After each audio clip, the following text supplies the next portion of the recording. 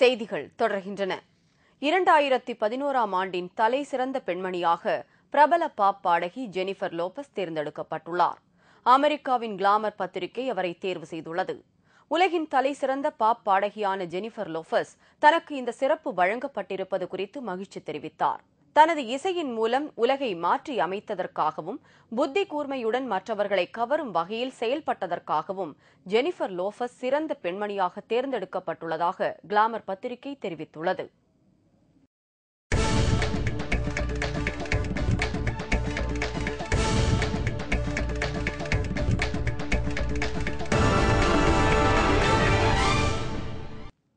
west Indies அணிக்கு எதிரான முதல் டெஸ்ட் போட்டியில் இந்திய அணி ஐந்து விக்கெட் வித்தியாசத்தில் அபார வெற்றி பெற்றது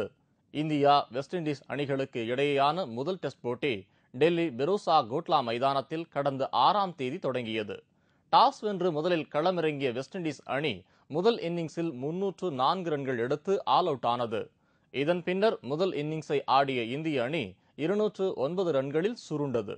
இதன் மூலம் தொன்னூற்று ஐந்து ரன்கள் முன்னிலை பெற்று இரண்டாவது இன்னிங்ஸை ஆடத் தொடங்கிய மேற்கிந்திய தீவுகள் அணி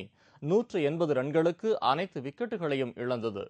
இதன் மூலம் இருநூற்று எழுபத்தி ஆறு ரன்கள் இந்திய அணிக்கு இலக்கு நிர்ணயிக்கப்பட்டது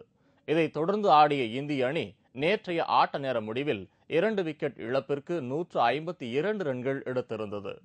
சச்சின் முப்பத்தி மூன்று ரன்களுடனும் டிராவிட் முப்பது ரன்களுடனும் களத்தில் இருந்தனர் சிறப்பாக விளையாடிய சச்சின் இருபத்தி எட்டு ரன்கள் சேர்த்தபோது டெஸ்ட் கிரிக்கெட் அரங்கில் பதினைந்தாயிரம் ரன்களை கடந்து புதிய சாதனை படைத்தார்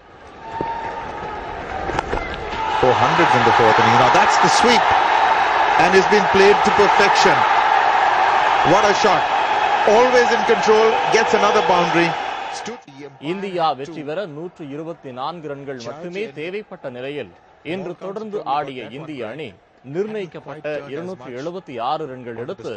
ஐந்து விக்கெட்டுகள் வித்தியாசத்தில் வெற்றி பெற்றது இந்த டெஸ்ட் போட்டியில் நூறாவது சதத்தை பூர்த்தி செய்வார் என்று எதிர்பார்க்கப்பட்ட சச்சின் டெண்டுல்கர் துரதிருஷ்டவசமாக எழுபத்தி ஆறு ரன்களில் டபிள்யூ முறையில் அவுட் ஆகி ரசிகர்களுக்கு ஏமாற்றம் கொடுத்தார்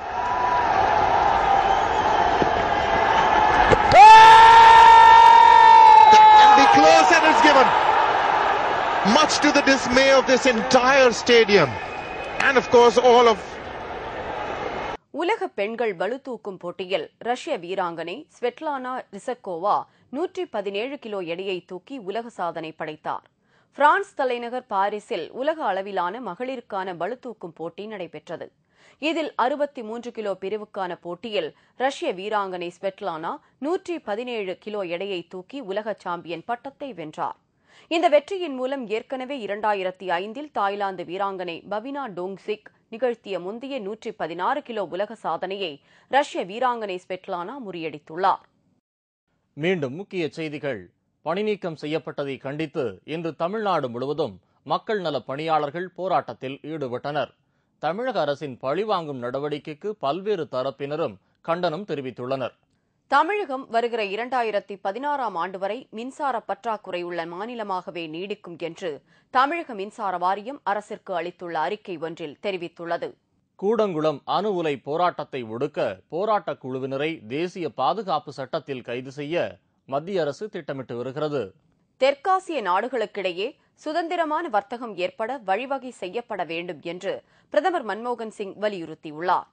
இத்துடன் செய்திகள் நிறைவடைந்தன மீண்டும் செய்திகள் இரவு பத்து மணிக்கு உங்கள் பிரச்சனைகளுக்கு உடனடி தீர்வு காண மூன்று பூஜ்ஜியம் ஒன்று மூன்று நான்கு அறுநூறு என்ற